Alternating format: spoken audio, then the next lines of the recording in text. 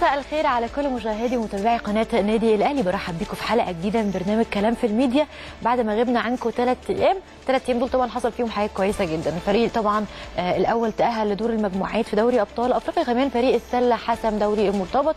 وإن شاء الله بإذن الله النادي الأهلي يكمل في إنجازاته كده دايما.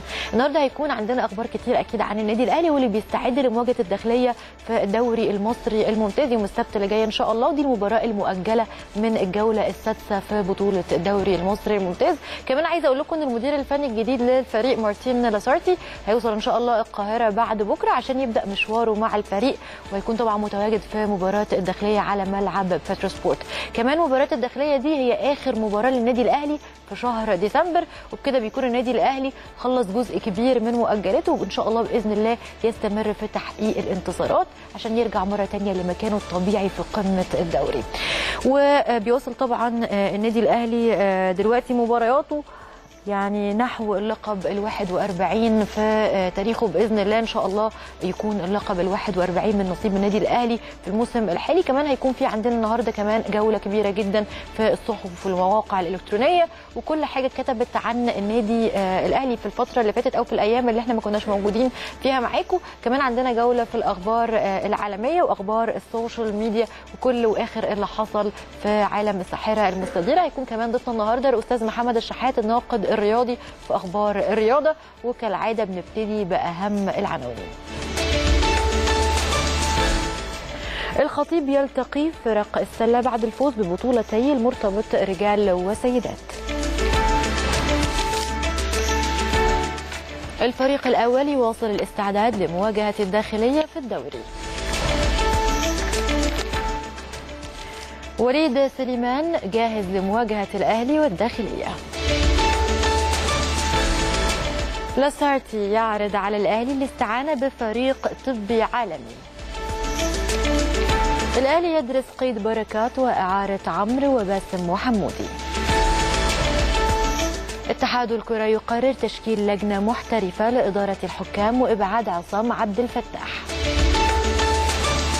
ستيرلينج صلاح لاعب استثنائي ولست متفاجئ بمنافسة ليفربول. من أهم عناوين حلقتنا النهارده نروح لأهم الأخبار اللي اتقالت عن النادي الأهلي في الصحافة. الأهرام الأهلي يدرس قيد بركات وإعارة عمرو وباسم وحمودي لاسارتي يصل بعد غد ومدير الكرة يحضر قرعة دوري الأبطال الأفريقي. الأخبار ترقب في الأهلي لوصول لاسارتي يوسف أرفض التشكيك في إخلاص أزارو والقوة الضاربة تكتمل قريبا. الشروق لاسارتي يعرض على الأهلي الاستعانة بفريق طبي عالمي. المدير الفني يستفسر عن إمكانية تغيير ملعب السلام وجيرالدو بديل لكوليباري في القائمة المحلية. الأخبار المسائي صفقات الأهلي تنتظر فرمان لاسارتي المدير الفني يذاكر بيراميدز ومحاولات جديدة لحسم انضمام الشحات وصبحي. الجمهورية الطيور المهاجرة على الأبواب. الأهلي ينتظر رد الشحات وصبحي. اليوم السابع الأهلي يقرر تعديل عقد صالح جمعة وبركات. الأحمر يقترب من ضم أحمد الصالح ومعلول يعود أساسي أمام الداخلية. المسا محمد يوسف انتظروا دفاع الأهلي في الدور الثاني. أحمد الصالح يقترب من القلعة الحمراء بعد انضمام محمود مرعي. المصري اليوم انفراجة في أزمة الشحات مع الأهلي واستعارة صبحي. اختبار طبي لسليمان لتحديد موقفه من مواجهة الداخلية فحص إسلام محارب وعودة محمد نجيب. روز اليوسف الأهلي مشغول بالداخلية. الجهاز الفني يطالب اللاعبين بالاستمرار في الانتصارات في الدوري. وهشام جاهز.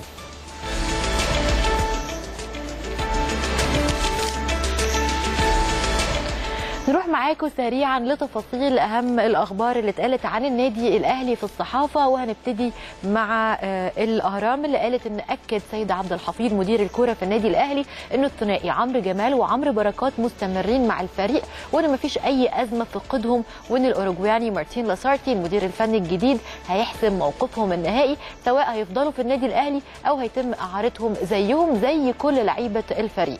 كمان قال كابتن سيد عبد الحفيظ إن عقد عمرو جمال مستمر يستمر لسنتين تانيين وفي اتجاه للتفاوض معاه عشان يمدد العقد وغير صحيح إن هو هينتهي في نهاية الموسم الحالي.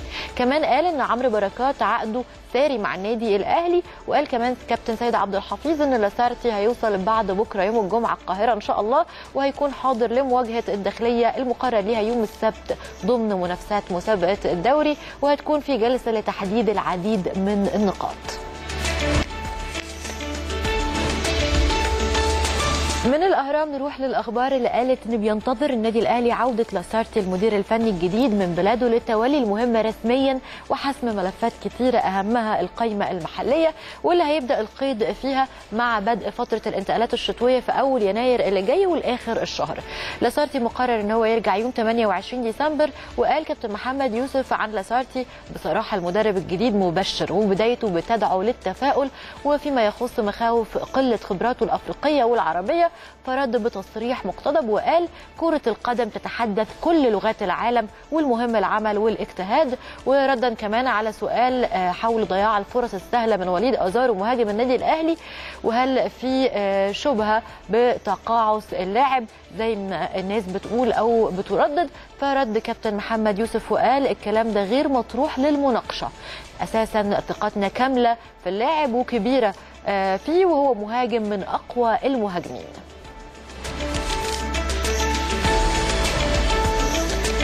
كمان الشروق قالت إن استفسر الأوروجواني لاسارتي المدير الفني للنادي الأهلي عن إمكانية اللعب على ملعب بديل لإستاد السلام خصوصا وإن هو استلم تقرير من الجهاز الفني الحالي بيفيد بسوء أرضية الملعب واللي تسببت في معظم إصابات اللعيبة خلال الفترة اللي فاتت.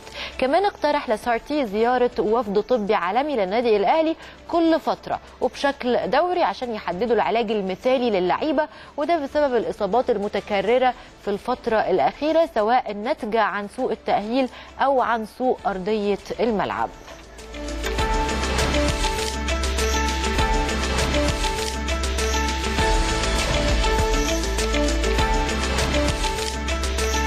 ده كان أهم الكلام اللي اتكتب في الصحافة عن النادي الأهلي في الفترة اللي فاتت. دلوقتي تعالوا نروح نشوف معاكم برضو أخبار النادي الأهلي لكن من على مواقع الإنترنت. الموقع الرسمي للنادي الأهلي الخطيب يلتقي فرق السلة بعد الفوز ببطولتي المرتبط رجال وسيدات. الموقع الرسمي للنادي الأهلي الأهلي يواصل تدريباته استعدادا لمواجهة الداخلية. بوابة أخبار اليوم فقرة فنية في مران الأهلي. بوابة الأهرام وليد سليمان جاهز لمواجهة الأهلي والداخلية. الشروق فقرة ترفيهية في تدريبات الأهلي استعدادا للداخلية. اليوم السابع الجهاز الفني للأهلي يدرس الدفع بعلي معلول في مواجهة الداخلية. سوبر كورة إسلام محارب جاهز مع الأهلي لمواجهة الداخلية. الأهلي dot com الأهلي يطرح تذاكر مباراة الداخلية للجماهير إلكترونيا. الشروق سلوفيني ماركوفيتش مدرب ليد الأهلي. نروح نشوف معاكم أهم تفاصيل أخبار النادي الأهلي من على مواقع الإنترنت وهنبتدي مع الموقع الرسمي للنادي الأهلي. اللي قال إن كابتن محمود الخطيب رئيس مجلس إدارة النادي الأهلي هيلتقي مع فريقي كرة السلة رجال وسيدات وفريق المرتبط ناشئين ونشات الساعة 7 مساء يوم الخميس اللي جاي في قاعة فكري اباضه في مقر النادي في الجزيرة عشان يهنيهم بالفوز بدوري مرتبط وتحفيزهم طبعا لمواصلة الانتصارات والتتويج بالألقاب على الصعيدين المحلي والقاري هيقابل رئيس النادي الأهلي فريق أو فرق السلة بعد ما حصد كل فريق فيهم لقب دوري مرتبط للمحترفين والمحترفات خلال الأيام اللي فاتت بعد أداء مميز جدا. وده طبعا جاي في إطار الدعم الكامل لفرق النادي الأهلي من أجل المنافسة على كل البطولات والاستمرار في حصد الألقاب وإسعاد الجماهير.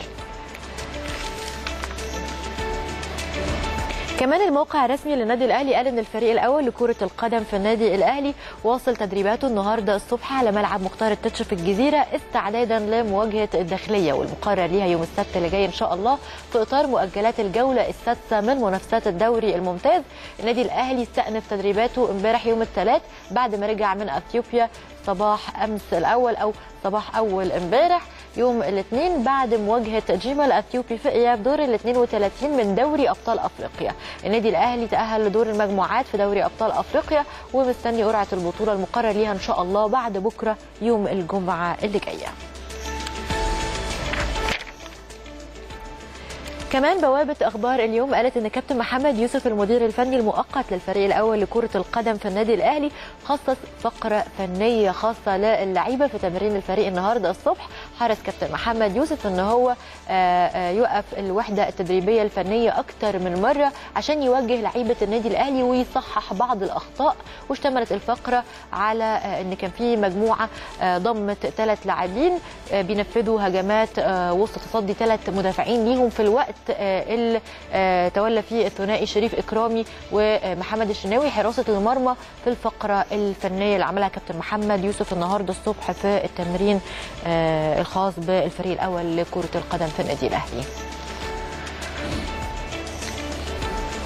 كمان بوابة الأهرام قالت إن وليد سليمان لاعب الفريق الأول لكرة القدم في الأهلي انتظم في التدريبات الجماعية النهاردة يوم الأربع على ملعب مختار التتش في الجزيرة وتخلص اللاعب من الإصابة بإجهاد في كاحل القدم واللي حرمته من مرافقة بعثة الفريق مؤخرا لأثيوبيا لمواجهة جيما في إياب دور ال 32 من دوري أبطال أفريقيا. شارك اللاعب بقوة في تدريبات النهاردة عشان يعلن عن جاهزيته لمواجهة الداخلية والمقرر ليها إن شاء الله السبت اللي جاي في الجولة المؤجلة ما بين الفريقين من الأسبوع السادس في مسابقة الدوري الممتاز. كمان الشروق قالت إن خاض لعيبة الفريق الأول لكرة القدم في النادي الأهلي النهارده فقرة تدريبية ترفيهية على ملعب مختار التتش في الجزيرة شهد تمرين النهارده تقسيمة كورة باليد في إطار برنامج الجهاز الفني لتجهيز اللعيبة للمرحلة الحالية واللي بتشهد خوض مباريات متتالية. كمان اليوم السابع قال إن بيدرس الجهاز الفني للنادي الأهلي الدفع بالتونسي علي معلول ظهير أيسر الفريق في التشكيل الأساسي لمواجهة الداخلية في بطولة الدوري العام والمقرر ليها السبت اللي جاي بعد تجهيزه طول الفترة اللي فاتت بعد ما تعافى من الإصابة. هيرجع في الناحية الشمال وهيرجع كمان أيمن أشرف لمركز قلب الدفاع اصطحب بالنادي الأهلي علي معلول في رحلة أثيوبيا خلال مواجهة جيما الأثيوبي في إياب دور ال 32 من بطولة دوري أبطال أفريقيا.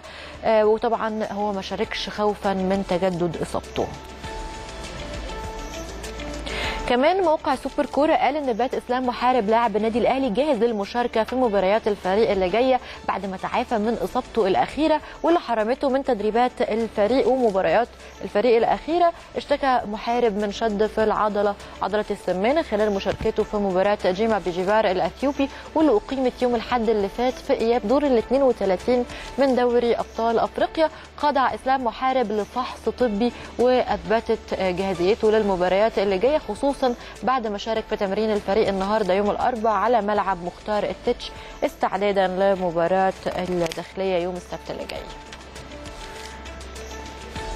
كمان موقع الأهلي دوت كوم قال إن قررت لجنة المباريات في النادي الأهلي برئاسة العمري فاروق نائب رئيس مجلس إدارة النادي الأهلي طرح الكمية المخصصة من التذاكر للنادي الأهلي في مباراة الداخلية 500 تذكرة لجماهير الأهلي عبر نظام الحجز الإلكتروني اعتبارا من مساء يوم الثلاث وبتبلغ قيمة التذكرة 50 جنيه وفقا للسعر اللي حدده مسؤولين نادي الداخلية بصفته إن هو صاحب المباراة اللي هتقام يوم السبت اللي جاي ضمن مؤجلات الأسبوع السادس من بطولة الدوري العام. اللجنة اللي بيترأسها العمري فاروق وبعضوية كل من خالد الدرندلي أمين الصندوق وإبراهيم الكفراوي عضو المجلس والعميد محمد مرجان المدير التنفيذي اتكلموا طبعا عن الموضوع ده ودايما كانوا بيناشدوا بأهمية وجود الجماهير وطبعا أكيد النادي الأهلي مستني جماهيره. وعشان نعرف أكتر تفاصيل معانا دلوقتي زميلنا كريم أحمد مراسل قناة النادي الأهلي. مساء الخير عليك يا كريم. مساء الخير عليك يا شيماء برحب بيك وبرحب بكل مشاهديك. طبعا أنا عايزة الأول أطمن منك على تدريب النهارده عن حالة اللعيبة وأكيد طبعا حالة الإصابات ومين إن شاء الله هيكون مستعد وجاهز للقاء الداخلية القادم يوم السبت اللي جاي إن شاء الله. يمكن لو بنتكلم عن الاستعدادات الخاصة لمباراة الداخلية المباراه المؤجله طبعا من الأسبوع السادس وبطوله الدوري العام النادي الأهلي يمكن كالعادة تلاحم التدريبات مع المباريات من البطولة للبطولة وده يمكن خلال الفترة الماضية كان ليه تأثير كبير على لعيبة النادي الأهلي فقدنا أكثر من لاعب شيما من الإصابات والغيابات. لكن يمكن الأشياء المبشرة إن في بعض اللعيبة هترجع خلاص لتشكيل الفريق للنادي الأهلي وأيضا قائمة المباريات خلال الفترة القادمة. لو بكلمك من طبعا على تدريب النهارده التدريب كان صباحي الساعة 9:30 بدأ تدريب فريق للنادي الأهلي بقيادة الكابتن محمد يوسف المدير الفني المؤقت حتى هذه اللحظة. يمكن لو بنتكلم على التدريب بشكل عام النهارده كابتن يوسف كان يمكن عامل أكثر من فقرة تدريبية النهارده. الفقرة التدريبية الأولى كان فيها بعض يمكن الأشياء الترفيهية أو التدريبات الترفيهية للاعبي النادي الأهلي نظرا للتلاحم الكبير والتدريبات المتواصلة والسفر. بيكون أكيد الكابتن يوسف كمدير فني بيبقى له رؤية إن هو يعني يكسر الحاجز ده إن يكون في تدريبات خفيفة فيها ترفيه فيها بعض الضحك في الملعب لأن التدريبات متواصله شيما والمباريات بتسبب يمكن خلاص يمكن بتشبع من التدريبات ومن الكورة فبيحاول الجهاز الفني إن هو يكون في أي تدريبات ترفيهية النهارده كان 15 دقيقة مع لاعبي النادي الأهلي لكن التركيز الكبير كان بيحاول الكابتن يوسف النهارده إن كل اللعيبة اللي بتشارك بصفه مستمرة ما يبقاش في حمل تدريبي عليها النهارده لكن النهارده كانت جرعة تدريبية قوية جدا لكل اللعيبة اللي ما بتشاركش خلال الفترة الماضيه النهارده كان في تدريبات فنية ويمكن بقى لنا فترة ما كناش بنشوف التدريبات دي. تدريبات هجوم ضد الدفاع ثلاث مدافعين أمام ثلاث مهاجمين في منتصف ملعب جمل تكتيكيه إزاي تقدر إن أنت من أقل لمسة أو من أقل تحرك توصل للمرمى؟ التأكيد على إحراز الأهداف استغلال الفرص بشكل كبير وده اللي أكد عليه الكابتن يوسف النهارده في التدريبات.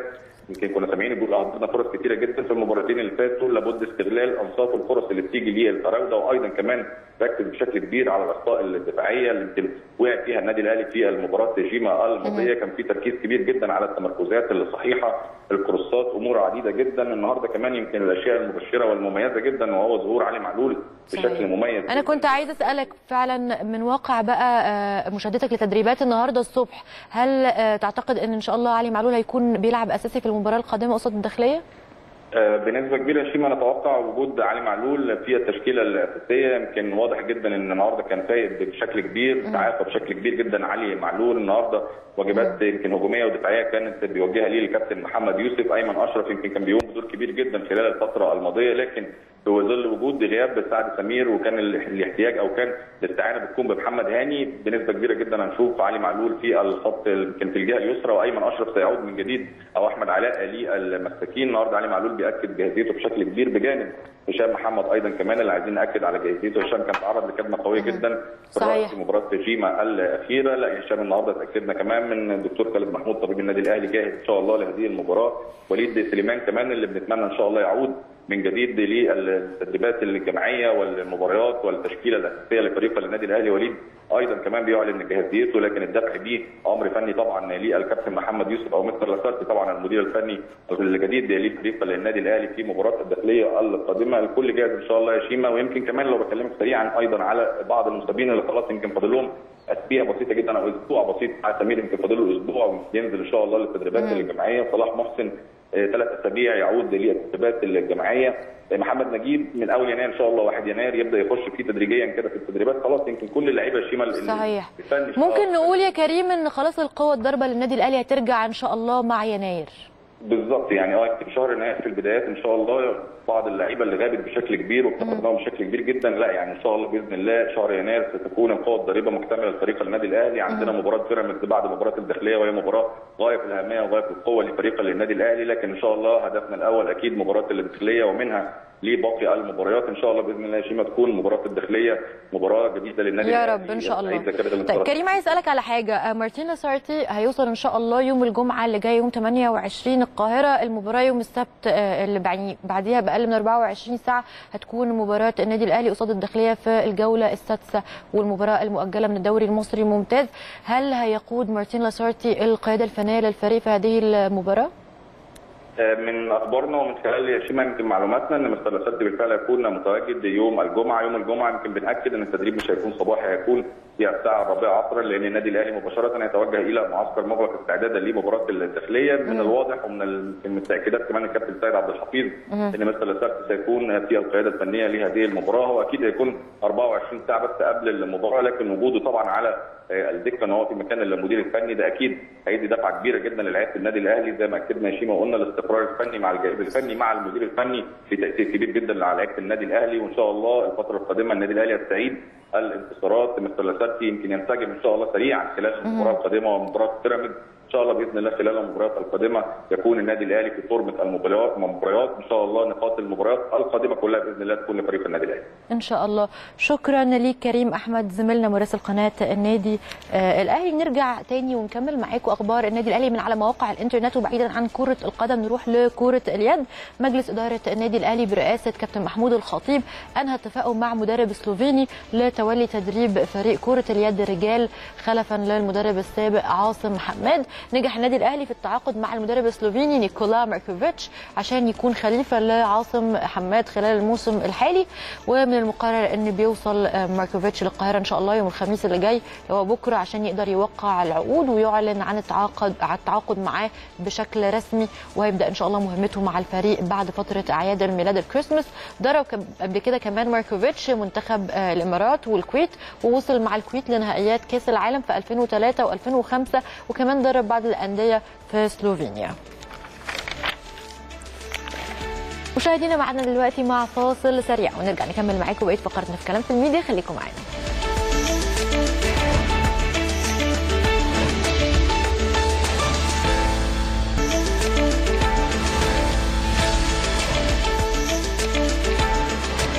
رجعنا سريعا ولسه مكملين معاكم فقراتنا في كلام في الميديا وبنوصل معاكم دلوقتي لأهم الأخبار المحلية والعالمية وكمان أخبار محترفين في الخارج. اليوم السابع الجبلاية يقرر تشكيل لجنة محترفة للحكام وإبعاد عبد الفتاح في الموسم المقبل. صدى البلد. وجيه أحمد ضرب الحكام مرفوض والإيقاف والشطب في انتظار المشاغبين. سوبر كورة المقاولون مع الإسماعيلي 2 يناير وتأجيل لقاء الدراويش والزمالك. الوفد 25 مليون دولار قيمة التعهد المالي لاستضافة أمم أفريقيا في مصر. اليوم السابع المنتخب الأولمبي يلاقي أمريكا وهولندا وديا في معسكر إسبانيا. كورة النجوم يتفاوض مع الحضش بطولات ستيرلينج صلاح لاعب استثنائي ولست متفاجئ بمنافسة ليفربول. سوبر كورة بنتيز صلاح من أفضل لاعبي العالم وموهبته تكمن أمام المرمى بشكل حاسم. يلا كورة متفوق على هازارد تريزيجيه ثالث أفضل مراوغ في أوروبا خلف ميسي وموهبة فرنسية. إيبي أرينا بعد التجديد مدرب ويجن يشيد بسام مرسي. سبورت 360 برشلونة يمهل فالفيردي بشأن تجديد عقده. كورة برشلونة الوجهة الأقرب لنجم توتنهام. يورو سبورت عربية. ريال مدريد يقهر برشلونة ويتربع على عرش أندية أوروبا. في الجول تقرير يكشف قيمة الشرط الجزائي في عقد نيمار.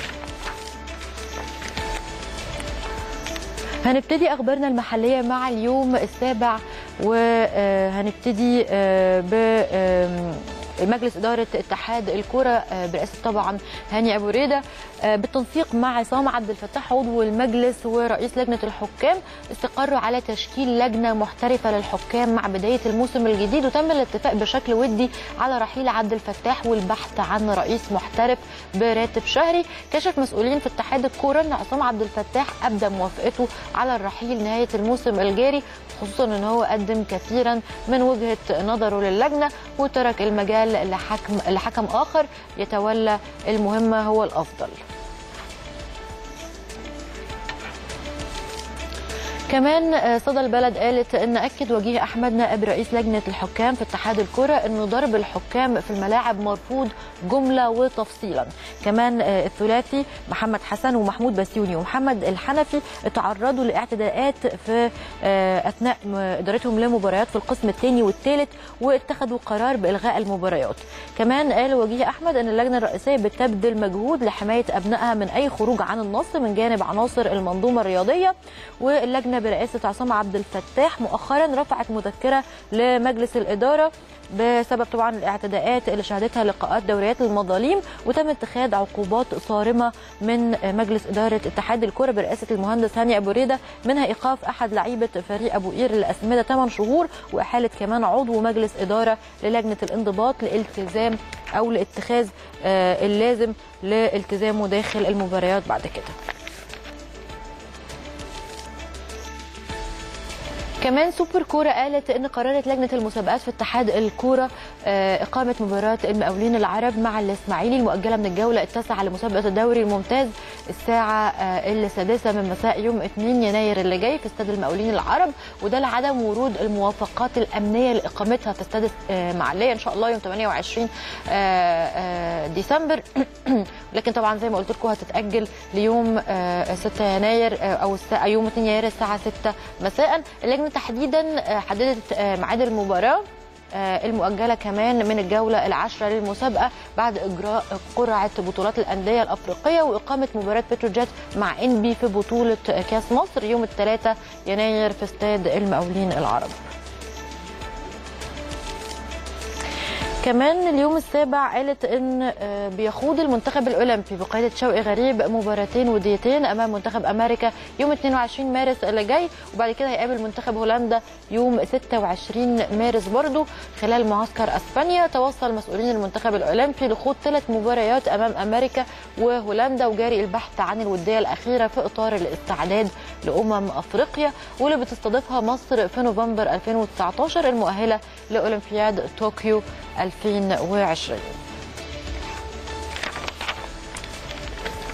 كمان الوفد قالت إن مصادر في اتحاد الكورة آه، صرحت إن قيمة التعهد المالي من جانب مصر لاستضافة بطولة كأس الأمم الأفريقية 2019 بلغ 25 مليون دولار. وبحسب المصادر فإن المبلغ ده هو المنصوص عليه من جانب الاتحاد الأفريقي لكرة القدم الكاف ويجب على أي دولة عندها رغبة في استضافة البطولة إن هي تتعهد بسداد هذا المبلغ وهو عبارة عن تكلفة التنظيم من تجهيز ملاعب وطرق ومطارات وفنادق وغيرها من الأمور المختلفة.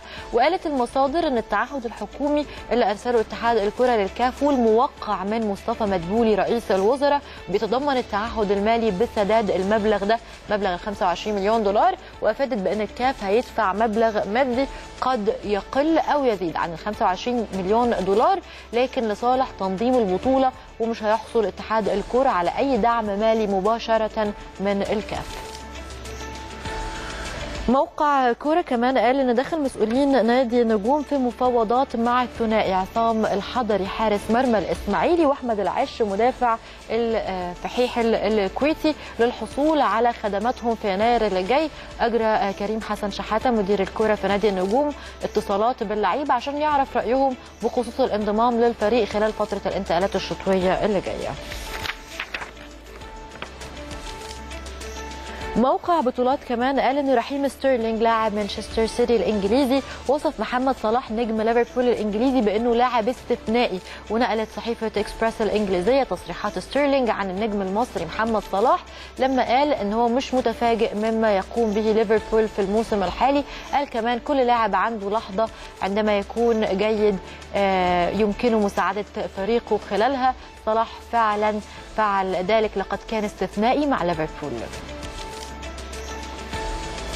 كمان موقع سوبر كورة قال إن رافائيل بينيتيز المدير الفني لفريق نيوكاسل يونايتد أكد إن الدولي المصري محمد صلاح لاعب حاسم قصاد المرمى وهو آه، ده اللي بيخليه واحد من أفضل اللعيبة اللي موجودين في العالم في الوقت الحالي. كمان قال مدرب نيوكاسل يونايتد إن محمد صلاح عنده سرعة ورؤية وقدرة بخلاف إن موهبته آه، بتكمن آه، قصاد المرمى بشكل حاسم. وقال كمان المدرب الشهير إن في حقيقة أكبر هي إن الريس لا يعتمد على محمد صلاح وحده بالرغم من إن الجميع بيعي جيدا انه واحد من أفضل لعيبة العالم حاليا بل بيعتمد بشكل كامل على اللعب من جميع الجهات وبالمناسبة دي متقدم دلوقتي ليفربول 1-0 كمان يلا كورة قالت إن الدولي المصري محمد أو محمود حسن تريزيجيه عفوا جناح قاسم باشا التركي تواجد بالقائمه الخاصة باللاعبين الأكثر قياما بالمراوغات الناجحة على مستوى الدوريات الأوروبية الخمسة الكبرى بجانب الدوري التركي. وبحسب الموقع التركي احتل تريزيجيه المركز الثالث في القائمه بعد نجاحه بالقيام ب 51 مراوغة صحيحة. في الموسم الجاري 2018 2019 كأكثر لاعب في الدوري التركي. بيتصدر الفرنسي ألان ماكسيمان لاعب نيس الفرنسي القائمه دي ونجح النجم البالغ من العمر 21 عام في القيام ب 67 مراوغة. وبيجي بعديه الارجنتيني ليونيل ميسي نجم برشلونة في المركز الثاني ب 65 مراوغة. بيتفوق تريزيجيه على البلجيكي ايدن هازارد جناح تشيلسي الإنجليزي واللي بيحتل المرتبة الرابعة بعد ما عمل 47 مراوغة.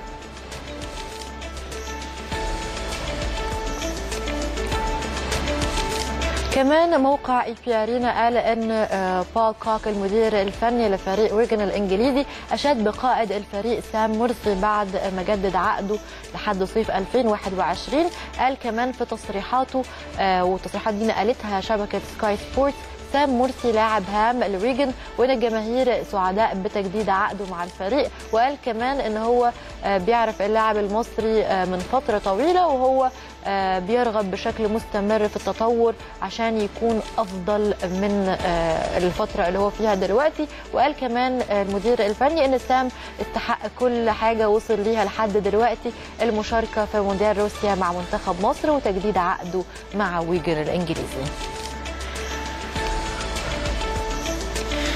موقع سبورت 360 قال إن نادي برشلونة بيتجه نحو إقرار تمديد عقد مدربه ارنستو فالفيردي برغم شعوره القاطع من جماهير الفريق الكتالوني بالاستياء. من الطريقة اللي بينافس بيها المدير الفني الأسباني في المباريات الخاصة بالبلوجرانا خلال الموسم الجاري. وقالت صحيفة ماركا الأسبانية إن إدارة برشلونة أدت لأرنستو فالفيردي مهلة لحد شهر فبراير اللي جاي عشان يقرر لو كان هيستمر مع الفريق الكتالوني أو إنه بيفضل الرحيل عن قلعة الكامب نو في نهاية الموسم الجاري. كمان قالت الصحيفة الأسبانية إنه لو لم يلغي أي طرف من الطرفين العقد قبل الميعاد النهائي فإن فالفيردي هيكون مدرب لبرشلونة لعام ثالث بشكل تلقائي. لكن إذا قرر أحد الطرفين إن هو يفسخ العقد فهيتم تقديم تعويض رمزي سواء من النادي أو من فالفيردي.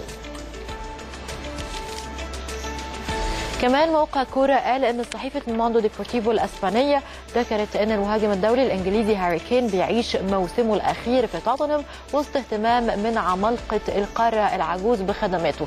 وأشارت الصحيفة إن وسائل الإعلام البريطانية شايفة إن نادي برشلونة هو الأقرب للتعاقد مع كين في الصيف اللي جاي وارتبط كين بانتقاله لعدة أندية أوروبية زي مانشستر يونايتد وريال مدريد واللي طبعا بيسعى إن هو يعزز هجومه باستمرار. وكانت تقارير سابقة أشارت أن دانيال ليفي رئيس توتنهام مش هيتخلى بسهولة عن نجمه هيطلب 200 مليون يورو على الأقل عشان يسمح له بالرحيل.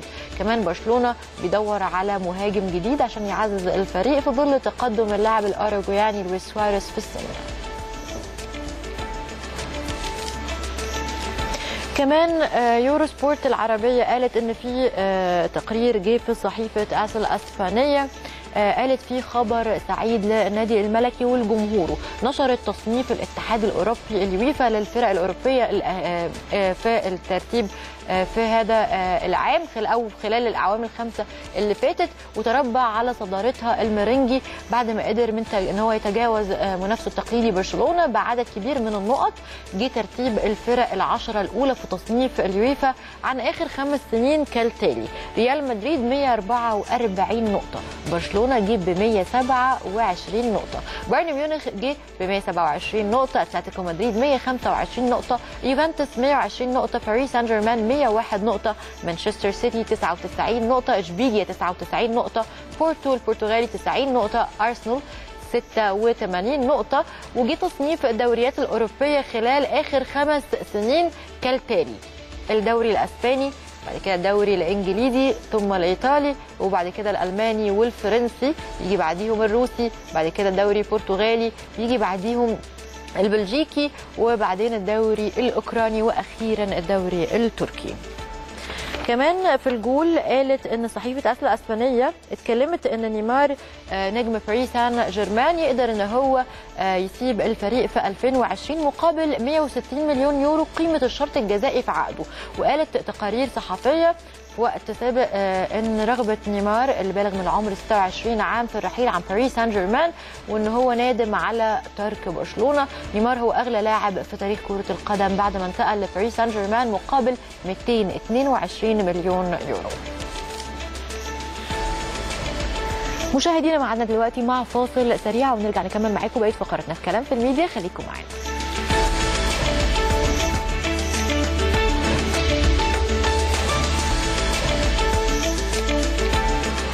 رجعنا سريعا وده ميعادنا مع جولتنا في ال social media عشان نعرف آخر آه وكل جديد طبعا في عالم الساحرة المستديرة. نبتدي الأول بتتويج النادي الأهلي. آه طبعا النادي الأهلي توج امبارح بطل دوري مرتبط السلة للموسم التالي الثالث على التوالي. كتب كابتن محمد الضماطي أو عضو مجلس إدارة النادي الأهلي أستاذ محمد الضماطي على صفحته على الفيسبوك. ألف مبروك الفوز ببطولة الدوري المرتبط لكرة السلة. مبروك لجمهور الأهلي العظيم. الدافع الأول للبطولات. بحبه آه بحبه وبخوفه على الكيان اللي يخلي المنظومة كلها تتحرك للأحسن ولازم نشكرهم على ذلك.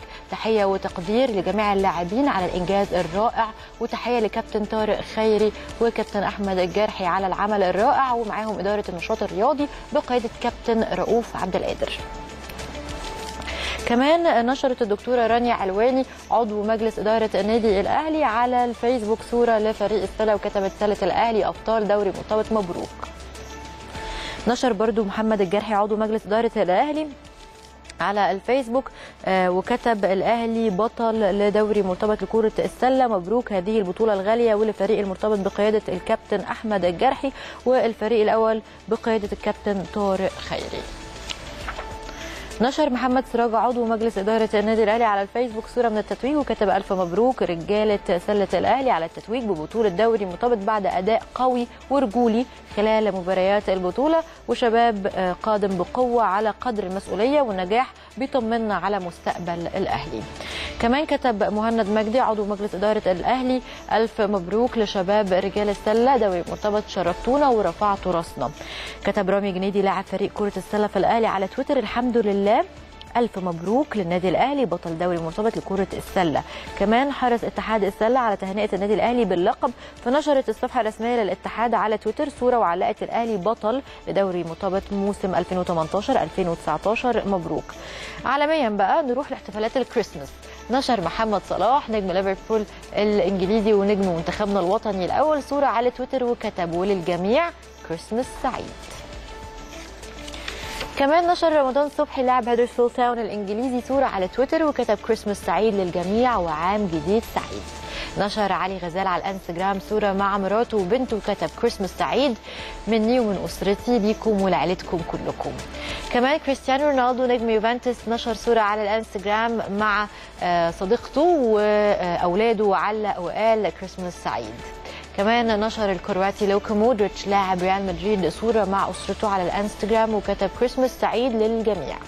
نشر جاريث بيل لاعب ريال مدريد صورة على تويتر من أحد مباريات فريقه كتب كريسماس سعيد. كمان النجم الإنجليزي واين روني نشر صورة على تويتر مع أسرته في الصورة دي وكتب كريسماس سعيد للجميع. استمتعوا بيومكم. نشر كمان البولندي ليفاندوفسكي نجم بايرن ميونخ الألماني صورة على الانستجرام مع ابنه وهما بيلعبوا في الثلج وكتب ثلج الكريسماس. كمان كتب البلجيكي كيفن دي بروين لاعب مانشستر سيتي على تويتر نتمنى ليكم كريسماس سعيد من عيلة دي بروين. أخيرا احتفلت الصفحه الرسميه لنادي أرسنال الإنجليزي على تويتر بعيد ميلاد رامزي لاعب الفريق ونشرت صورة للاعب وكتبت رامزي يبلغ من العمر 28 عام النهارده. نتمنى ليك عيد ميلاد رائع. الثلاث نقط في مباراة برايتون اليوم هيكون أفضل هدية لينا جميعا. مشاهدينا معنا دلوقتي مع فاصل سريع وبعديها ينضم لينا ضيفنا النهارده أستاذ محمد الشحات الناقد الرياضي في أخبار الرياضة.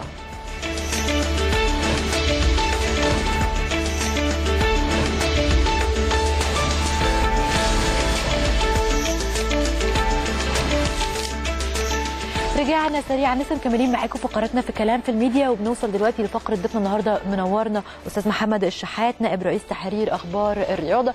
مساء الفل على حضرتك. أهلا مساء الخير عليك وعلى جميع مشاهدينا. آه ونقول كل سنه وأنتم طيبين لكل جموع الشعب المصري مسيحيين ومسلمين بمناسبة العام الميلادي الجديد وعيد الميلاد. وبنهني النادي الأهلي سلته سواء الرجال أو السيدات على. إنجازهم الرائع. اللي نتمنى إن هو يستثمر آه الموسم القادم في بطولات بقى أفريقيا واستكمالا لهذه المسيرة الناجحه. إن شاء الله. طبعا هنتكلم النهارده عن آه، النادي الأهلي. أكيد هنتكلم عن اللقاء اللي فات قصاد- جيما الأثيوبي في آه، أثيوبيا وتحديدا في أديس أبيبا واللقاء القادم قصاد الداخلية. خلاص يمكن النادي الأهلي قفل الصفحة الأفريقية مؤقتا بعد آه، لقاء جيما الأثيوبي. للأسف انتهى بهزيمة النادي الأهلي بهدف لا شيء لكن طبعا في الآخر. إحنا آه، وصلنا للي الحمد إحنا. عايزينه وصعدنا بالظبط. للمرحلة آه، القادمة. ومن الواضح كده إن الفرق المصرية عندها مشاكل في أفريقيا في الفترة دي. يعني إحنا شفنا كمان الزمالك بيكسب هنا القطن سبع أهداف للا شيء. راح هناك اتغلب. هدفين. هي المشكلة الأساسية إن هناك آه، آه، فرق جديدة بتظهر في أفريقيا. إحنا كانت اسماء محصورة في فرق بعينها النهارده بتظهر فرق كتيرة ما نعرفش عنها صحيح. وده يتطلب الأندية الكبيرة زي الأهلي والزمالك إن يبقى عندهم مراكز إعلامية آه، معلوماتية على الفرق دي تدرس إن هي المتوقع هتقابل مين في الفرق دي فتشوف الفرق دي وتشوف حتى لو ما قابلتهاش آه تبقى فائدة ليها إنها ممكن تستفيد ممكن من كمان وجود معلومات عن فرق معينة في حتت كتير في أفريقيا بيكون صعب لأن أفريقيا برضو كلها مش متطورة. لا، لا. في أماكن صعبة جدا في أفريقيا. النهارده أصبحت المعلومات معروفة وموجودة وال- والفرقه دي مع موجودة بس إحنا عشان ما بنواجههاش بتبقى بالنسبة لنا غامضة. كان مهم جدا على الأهلي وهو طبعا بطل أفريقيا وزعيم القارة إن هو يبقى عنده معلومات كافية عن كل هذه الفرق. صحيح. موجود لأنه هو متوقع ان يقابلها. طبعا ال- ال- المشكلة الأساسية إن الفرقة دي فجأة بتظهر والأهلي تعرض مرة لوكابواه إن هو خرج من دور ال 32 أحد أمام فريق مغمور. هو مغمور بالنسبة لنا بس هو مش مغمور بالنسبة لدولته أو بالنسبة لأن في بطولات على فكرة بتعمل في آه، شرق أفريقيا وفي جنوب أفريقيا وفرق بطولات آه، أربع خمس دول بيعملوا بطولات مع بعض وفرق كويسة بتشتغل. مهم جدا في المستقبل إن يبقى الأهلي عنده بيان كامل بكل الفرق الأفريقية أكيد اللي طبعاً. محتمل يقابلها في يوم من الأيام. طيب حضرتك من خلال متابعتك للقاء الذهاب هنا في برج العرب شفت الجيم الاثيوبي إزاي؟ شفتوا فريق ضعيف وإحنا يعني كان كل الكلام وقتها إن إحنا وصلنا تسع مرات للشباك لكن ما قدرناش إن إحنا نترجم الهجمات دي لأهداف. فكان كل التخيلات بتروح إن إحنا الفريق الأقوى ال ال ال الأهم آه، يعني اللي عنده آه، طبعا قدرات فنية أكبر وأعلى في الملعب. آه، الكره الافريقيه حصل فيها تغير بين رهيب جدا. كان زمان آه، بيلعبوا كرة آه، آه، بعيده تماما عن كرة القدم. النهارده إحنا شفنا الفريق الإثيوبي فريق منظم جدا بيلعب كرة على آه، بي- بينقل نقل يعني انت لو تلاحظ ان كمية نقلاته على الأرض كانت كتيرة جدا آه، الكرة الأفريقية اتغيرت وده لازم ناخد بالنا منه. يعني ان إحنا كنا الأول الفرق الأفريقية بتبقى يعني ضعيفة لا لا فرق جيدة بيجيبوا مدربين كويسين عندهم عناصر كويسة. آه، إحنا شفنا ان في فرق آه، لعبتها النهارده بت- بتنافس في الدوريات الأوروبية افريقيه يعني زي آه، آه، موريتانيا اللي صعدت لنهائيات كأس الأمم الأفريقية من خلال لاعبها اللي بيلعب آه، في تشيلسي. فبقى إحنا المسائل اتغيرت واللعيبة اتغيرت والعالم اتفتح. يعني العالم كان مغلق. النهارده الفرق الأفريقية انفتحت والأندية الأفريقية انفتحت وبقى لها رعاة. يعني إحنا شفنا فرق كتير جدا آه، بترعاها شركات ضخمة جدا في أفريقيا.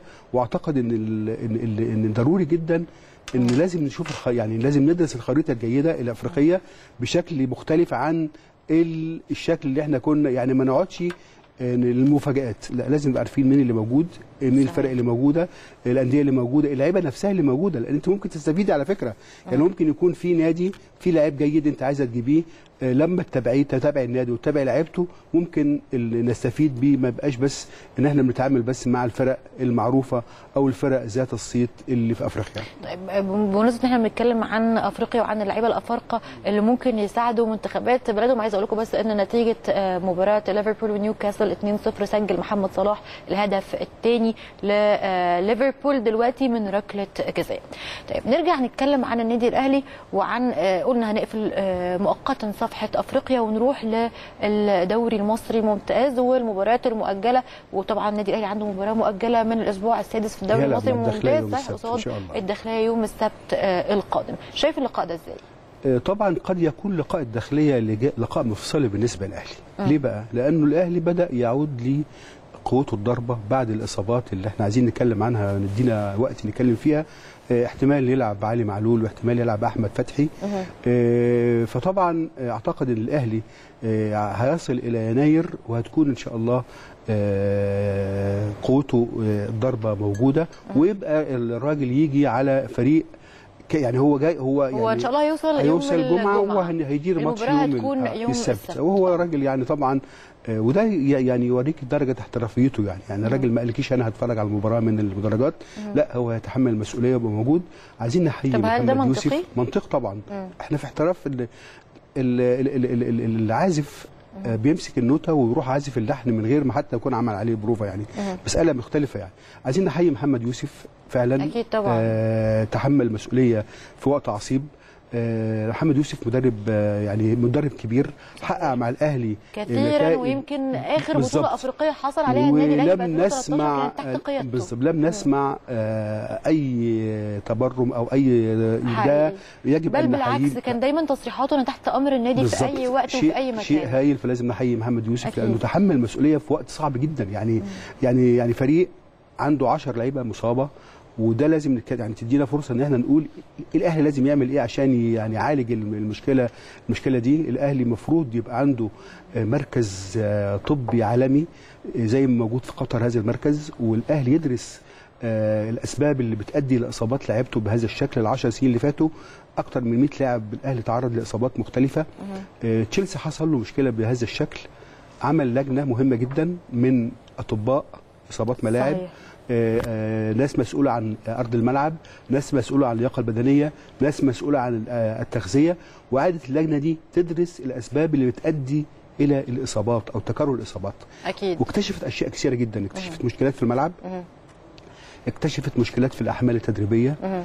اكتشفت مشكلات في التغذية. صحيح. اكتشفت أشياء كثيرة جدا. فالأهلي لا يقل عن اللي إحنا سامعينه كمان من من امبارح للنهارده إن لاسارتي طلب من النادي. الأهلي إن يكون في وفد طبي وأنا- يجي وفد طبي عالمي يجي آه، النادي الأهلي يعني ما بين كل فترة وتانية بشكل بشكل أو بصفة آه، دورية يتابع النادي الأهلي ويشوف المشاكل اللي جوه النادي الأهلي ودايما يكون ملم باللي بيحصل ويقدر يعالج كل آه، الإصابات بشكل آه، أسرع بكتير من اللي إحنا بنشوفه في الوقت هذا. الكلام أسعدني جدا لأنه لما يبقى مدير فني فاهم الدور ده يعني المشكلة كلها إن مدراءنا الفنيين في مصر كان بيعمل كل حاجة. حتى الأحمال هو اللي كان بيعمل بيحدد الأحمال للعيبة. لا هو الراجل فاهم. وهو حتى في المؤتمر الصحفي قال أنا عارف إن الأهلي عنده مجموعة من الإصابات وأنا أحط الموضوع ده في عين الاعتبار. صحيح. وكان أول رد فعله إن هو هيجيب آه آه الخبراء في المجال ده يعني كانت في مشكلة في مصر من السنوات اللي فاتت إن كانوا المسؤولين عن إصابات الملاعب ناس غير مؤهلة.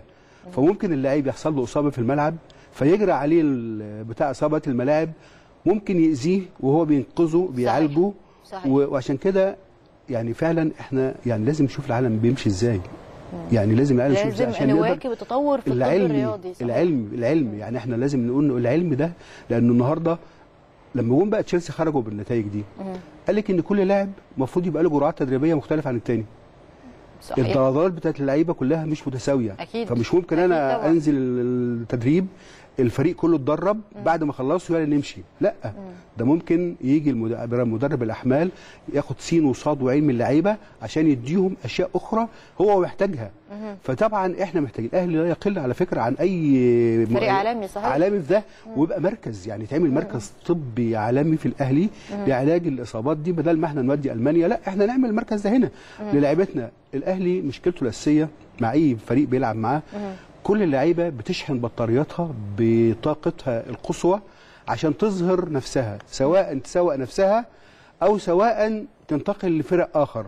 فاللعيب بيبقى عنده أكثر فده بيعرض لعيب الأهلي للضغوط آه، آه، أضخم. فعشان كده الأهلي محتاج إن يهيئ لعيبته ويكملها بكل الأسلحة إن هي تقدر تقاوم هذا الكلام ده. صحيح. بتكلموا على ضغط المباريات ما هو؟ صلاح لعب يوم السبت ويلعب يوم الأربعاء. يعني صحيح. المساله مش يعني صحيح. يعني مش عايزين الموضوع آه، ده آه، مش عايزين آه, آه مش عايزين دلوقتي أو ما, آه، ما آه. بقاش الناس شايفاه بنفس ال- المجهود الكبير اللي كانوا بيشوفوه زمان. يعني بيقولوا زمان لا أكتر من ماتش في الأسبوع ما ينفعش وصعب ومجهود وكده. لا لا دلوقتي طبعا إحنا بنشوف كل الفرق عالميا بيلعبوا ماتش يمكن يوم آه ويوم لا ده عادي. بيسافروا وتاني يوم بينزلوا يلعبوا. العلم يا أستاذة شيماء. والعلم اللي الناس بتشتغل بيه. إحنا مش هنخترع. إحنا هنشوف التجارب دي. الأهلي بيسفر ناس عشان يشوفوا التجارب الإدارية ويشوفوا التجارب الفنية. شفنا كمان وفد من النادي الأهلي راح ريال مدريد قريب جدا. يسفروا بقى ناس بقى بتوع طب بقى وبتوع ملاعب وشوفوا في مشكلة. أنا أعتقد إن في مشكلة في ملعب السلام. الملعب ويمكن السلام. ده اللي طلبه آه، لاسارتي وقال يا ريت تحطوا في عين الاعتبار تغيير ملعب السلام ما- لملعب تاني لأن أنا حاسس إن الملعب ده هو سبب إصابات ليه بقى؟ الفريق. ليه بقى؟ ملعب السلام ده كان الملعب الوحيد في مصر الترتان. فهل أنا طبعا ما أعرفش هل هم لما جم يعيدوه بقى بيطلعوه يحولوه بقى لملعب طيني أو نجيلة هل هم يعني عملوا له عملية إزالة تمام للترتان ده لأن لو في بؤرة يعني صلبة صح. وجت رجل اللاعب عليها في, في مع اندفاعه وجريته بتتعب الكل يعني كل يعني جسم كله صحيح. يعني فطبعا أتمنى إن ما يكون يعني يكون الملعب آه ما فيش فيه مشكلة علشان طبعا ده ملعب الأهلي الرسمي. آه شايفين إن بس إحنا سامعين كمان في الفترة اللي جاية بإذن الله النادي الأهلي هيبتدي إن هو آه، ينقل مبارياته من ملعب السلام لملعب استاد القاهرة بإذن الله. ما أساس القاهرة في مشكلة. الشركة اللي, اللي هتشوف النجيلة قالوا النجيلة محتاجة ست أشهر لأنها معمولة غلط فلازم تشال كلها.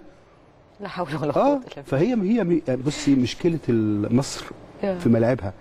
يعني إحنا مش عايزين نتكلم بقى إن في ملاعب لا تصلح لكرة القدم وكانت سبب كتير قوي من إصابات الملاعب فرصة جيدة إن الكابتن محمود الخطيب رئيس النادي الأهلي لاعب كبير وأكثر واحد بقى يقدر يعالج لنا المشكلة دي. تعرض هو لإصابات كتيرة جدا لأنه لعب في ملاعب آه، آه، ما أنزل الله بها من سلطان فيقدر يقدم لنا روشته يعني خبراته الكبيرة اللي اللي تكونت على مدى سنوات عمره كلاعب يقدر يقول لنا بقى إيه المشكلة.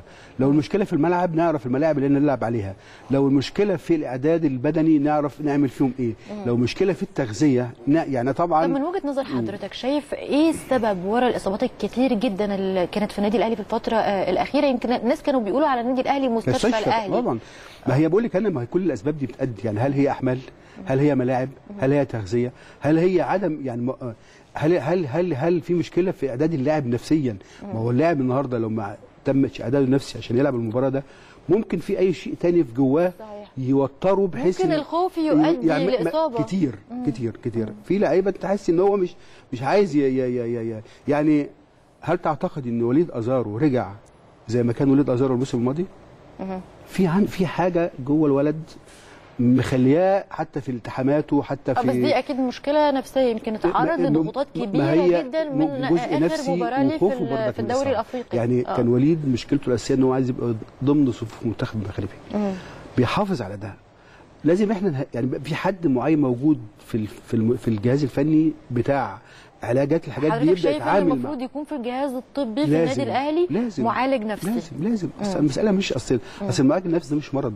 أيوه طبعا مش مرض. يعني هو حتى المعالج النفسي ده لو قعد مع لعيب وفضفض معاه واتكلم معاه وبتاع ممكن يخ... يعني يعمل يعني لأن الطبيعي إن هم بيتعرضوا لمشاكل نفسية طول الوقت. يعني آه، أشخاص تحت ال- ال- الضوء طول الوقت آه، أخبارهم تحركاتهم. يعني ايا كان إيه اللي بيعملوه بيكون من- بيقابل انتقادات كتيرة جدا آه، لو أخفقوا بيتحملوا طبعا آه، أعباء كبيرة جدا من الجمهور. حتى لو كان الجمهور اللي بيساندهم في فترة بيتقلب عليهم في يوم من الأيام فالموضوع ده أكيد طبعا بيسبب لهم مشاكل نفسية كتير بتبقى محتاجة لعلاج فوري بقى. بالظبط لأن هو الأهلي ده ما دي مشكلة الأهلي ده مطلوب منه كده يعني. الأهلي مطلوب منه يبقى البطل ويبقى ياخد كل البطولات. ده ده دي يعني عارفة شيء قدري. يعني فالشيء القدري كإدارة لازم توفر بقى كل السبل للكلام ده. آه ممكن ما ياخدش البطولات كلها بس يبقى في حد لل يعني يعني إيه؟ يعني ما يقدرش يخرج خالي الوفاض من بس خليني أقول لحضرتك على حاجة جمهور النادي الأهلي ما بيقبلش غير بالفوز. لا هو مد... يعني لا الأهلي لا لو النهارده ال- أداء الأهلي وبيأدي وبيعمل اللي عليه وبي... لا لا لا لا هو مدرك. اذكى جمهور في صدقني هو ما. مش جمهور ممكن الاهلي. عايز أقول لك على حاجة. وبعدين هو النادي الأهلي هو اللي عمل كده. يعني النادي الأهلي في في أجيال طلعت ما بتشوفش في- غير إن الأهلي في بيكسب. مواسم الأهلي ففكرة إن هو الأهلي بيكسب ده حقي مكتسب. خلاص. لا لا أنا في ما أقدرش إن أنا أتنازل الأهلي عنه. أدى فيه. وما خدش بطولة والجماهير حيت لعبتها تحية أكتر من إن هو كسب. لا ما فيش ما فيش حد بيكسب كل شيء على طول. والأهلي عارف هذا الكلام. بس النهارده أصل الأهلي بيلعب في أربع خمس ست بطولات في الموسم. فتخيلي بقى لو هو خرج من البطولات دي ما كلها ينفعش. وده اللي إحنا. يمكن آه، عدينا بيه انما إحنا خرجنا في حد آه في حد أدنى للبطولات صحيح. يبقى تاخد بطولتين. وبعد كده النهارده انت الاهلي دايما عاملين مقارنة في عدد بطولاته مع الأندية العالمية. صحيح. ففي الأندية العالمية بتفرق فالأهلي لازم يكمل. يعني دي اللي دي اللي بتظهر الجماهير. وبعد كده الأهلي ده مطلوب منه كده. يعني أنت النهارده ما تقدريش تح- تحاسب الجمهور على معتقداته الراسخة جواه. إحنا نعمل اللي علينا. الأهلي يعمل اللي عليه. عنده أربع خمس بطولات.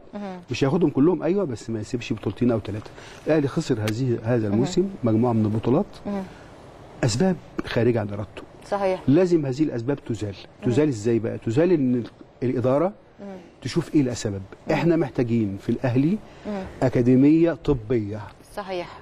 على علم وأعتقد إن الكابتن وفيها محمود كل التخصصات حتى زي ما كنا بنتكلم عن الأخصائي آه، النفسي أو المعالج النفسي يمكن. في 2008 2009 آه. كان في آه، أخصائي نفسي مع أيوة. الفريق اسمه دكتور محمد فكري والفترة دي برضو كان النادي الأهلي في آه، انطلاقة في مشواره وبعد كده واضح إن في مشكلة مع مدرب الأحمال مع اللعيبة يعني الموسم ده بالذات على عكس الموسم الماضي كان معاهم حد تونسي. يعني وبعد كده النهارده انت لازم الناس تسمع للعيبة. ما أنا أنا هعرف إزاي؟ لازم الناس تسمع اللعيبه ويبقى في بين الإدارة واللعيبة. وده دور سيد عبد الحفيظ. يفهم منهم يعني هل فعلا اللعيبة مستريحه هل عندكم يعني لازم الكلام ده يحصل يعني. بقول لك إن الأهلي يمكن محتاجين نعمل سيرفي كده كل أسبوع للعيبة إيه ال- إيه ال- مبسوط من إيه متضايق من إيه إيه اللي ضايقك الأسبوع ده. إيه اللي حصل في التمارين ما. كانش عاجبك؟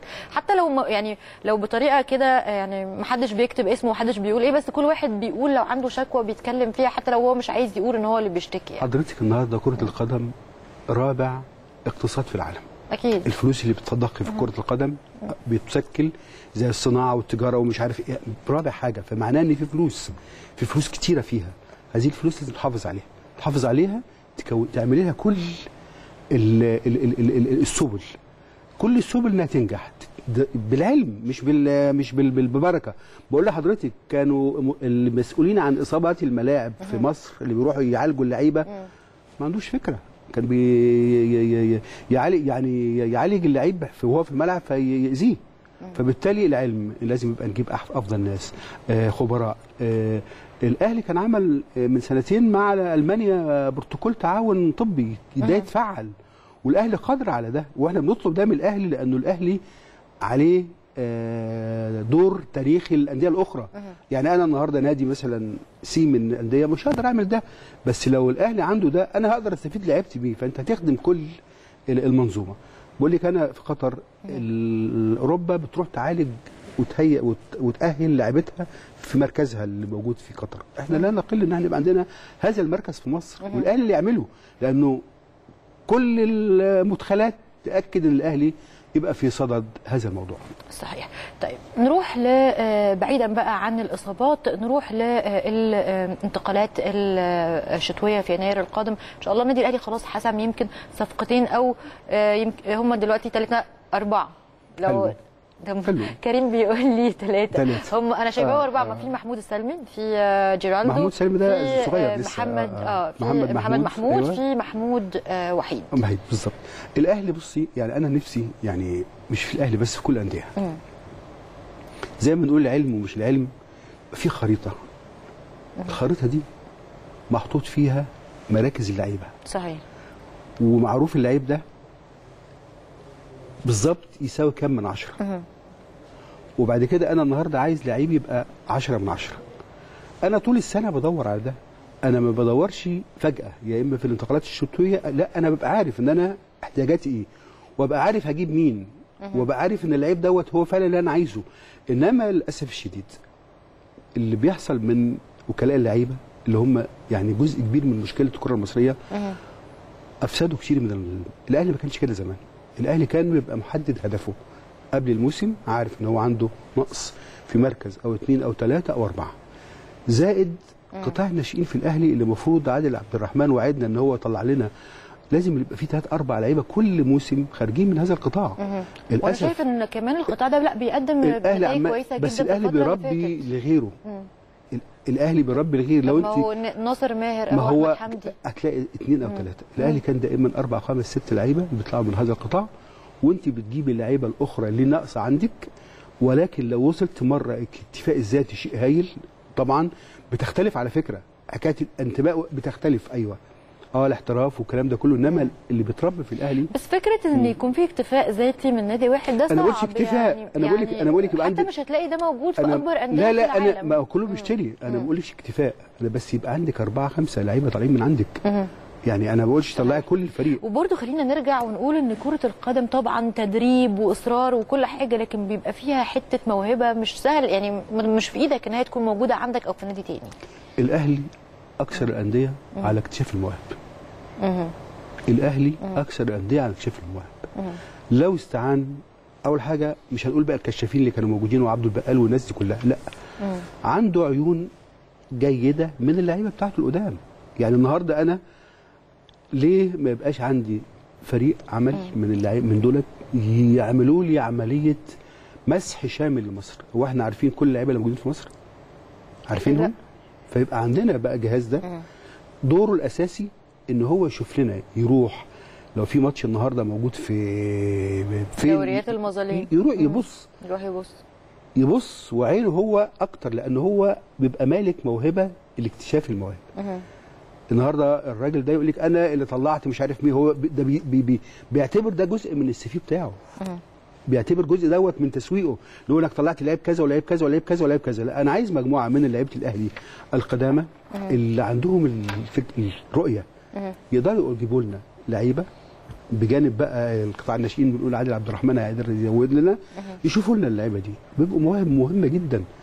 وبعد كده الأهلي قادر على على يعني تك يعني استكمال الموهبة. يعني هو بقى عنده مكونات موهبة عنده عنده الأسس وياخد الاهلي بقى يبدأ بقى ي... فده ده مهم جدا يعني. أكيد طبعا. آه. بس أنا عايز أقول لحضرتك إن كمان يعني يمكن أربع فرق من خمس فرق الناشئين اللي موجودين في النادي الأهلي أربعة منهم هم متقدمين آه ومتصدرين كويس. الدوري. أنا عايز بقى الثمار. الاهلي بيعمل كده وكل اللعيبة دي بتروح تخرج وده اللي هيحصل تخرج إن شاء الله. للفرق يمكن كان عندنا كان لينا حديث مع كابتن عادل عبد الرحمن في فترة آه اللي فاتت أيام ما كان لسه باتريس كارتيرون هو المدير الفني للنادي الأهلي وقال إن هو قعد مع كابتن باتريس كارتيرون وقتها وعمل معاه آه خطة, خطة متوازية إن هو. آه. إزاي يقدر يصدر للفريق الأول لعيبة على نفس آه القدر من المسؤولية ومن الاجتهاد ونفس طريقة اللعب ونفس التفكير تقدر طبعا تساعد وتساهم في آه انتصارات النادي الأهلي أو في ألقاب النادي الأهلي في السنين اللي جاية. أنت عارف يا شيماء الأهلي تفوق من 10 15 سنة إزاي؟ جاب خبير ألماني لقطاع الناشئين. خبير هو الراجل ده تخطيط بيخطط. هو عن مدراء فنيين شغالين هو الراجل ده اللي بيدير التخطيط. خرجوا في الفترة دي كمية من اللعيبة الاهلي شيء رائع. ليه الأهلي ما رجعش تاني لل ممكن يبقى حد من أولاده هو اللي يعمل ده؟ صحيح. يبقى بس ممتلك ممتلك الإمكانيات وممتلك الطاقة وممتلك الفكر وممتلك الكلام ده هيعمل الكلام ده. الأهلي بقول لك يعني أنت عارفة أنت الاختبارات اللي بتروح الأهلي كام لا كام آه، متقدمين ليها كام لاعب؟ أكيد الوفات أكيد فيهم مواهب. يعني أصلا الأرض دي أصلا لا تنضب على فكرة مليانة. بس فين بقى العين اللي تشوف؟ العين اللي تشوف عشان كده بقول لك إن الأهلي مطلوب. مجموعة من اللعيبة النجومنا القدامى اللي هم أكفاء. يبدأوا يمسحوا ويعملوا مسح لل- لمصر. يعني. صحيح.